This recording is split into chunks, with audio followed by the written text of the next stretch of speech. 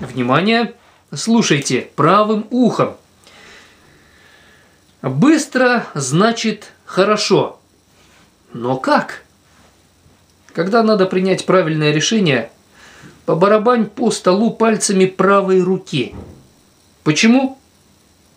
Тот, кто производит эти манипуляции в течение 45 секунд с меньшей вероятностью, примет решение, о котором потом пожалеет.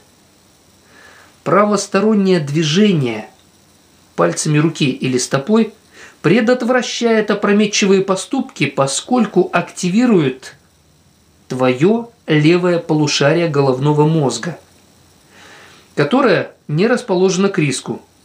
Это данные университета Апалачии из Соединенных Штатов Америки. Помни об этом, когда решение нужно принять немедленно, несмотря на стрессовую ситуацию и не самое благоприятное обстоятельство. Используй это. По крайней мере, это позволит тебе э, применить ну хотя бы какие-то силы для того, чтобы задействовать свой потенциал.